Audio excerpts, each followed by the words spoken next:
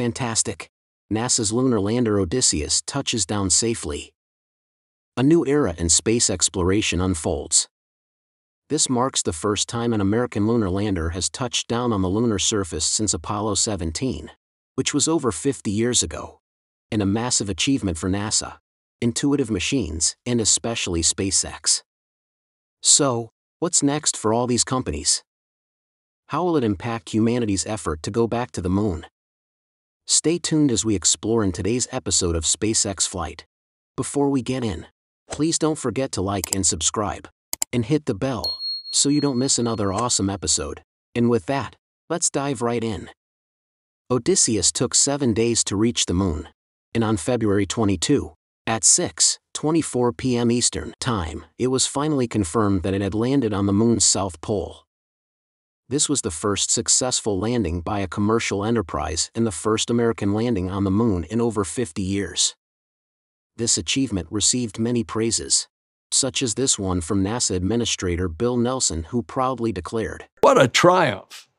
Odysseus has taken the moon. This feat is a giant leap forward for all of humanity. Stay tuned. And SpaceX founder Elon Musk, who said, Congrats. This incredible adventure began at 1, 5 a.m. Eastern Time on SpaceX's Falcon 9 rockets, when the lander successfully separated from the second stage of the Falcon and headed towards the moon.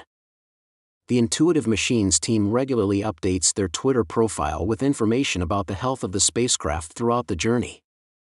All systems, including power and communications, were functioning flawlessly.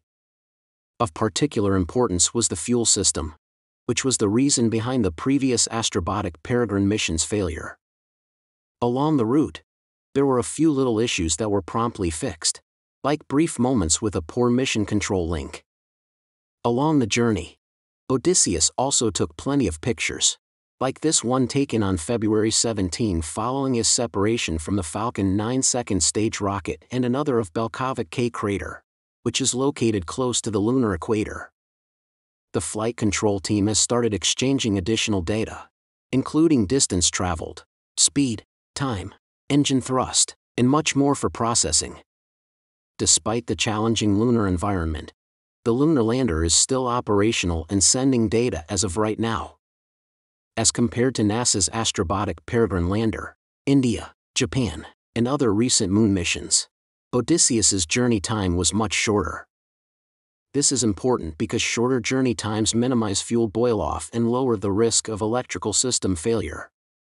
Additionally, the lander touched down safely. Unlike Russia's Luna 25 that crashed, or Japan's Slim lander that landed in the incorrect orientation. It might even outlast India's Chandrayaan 3 in terms of mission duration, but we'll have to wait and see the accomplishment demonstrated the ability to overcome a wide range of obstacles and demonstrated exceptional collaboration, perseverance, and inventiveness, qualities previously celebrated by intuitive machines. These attributes played a crucial role in achieving such achievements. All of this would not have been possible without SpaceX's commitment to lowering the cost of spaceflight and its determination to make it accessible to everyone. SpaceX created the Falcon 9 rocket, which has launched more than 300 times on February 20.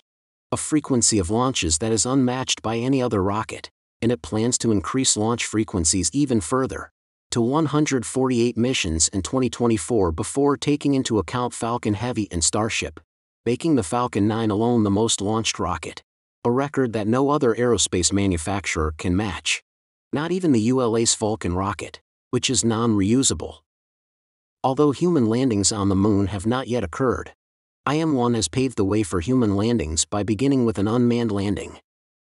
Additionally, we cannot overlook SpaceX's enormous contributions to this entire project, not only with the lunar lander but also in the near future when it will participate in Artemis 3 and 4 missions by carrying astronauts to the lunar surface, as well as paving the way for groundbreaking achievements in the distant future.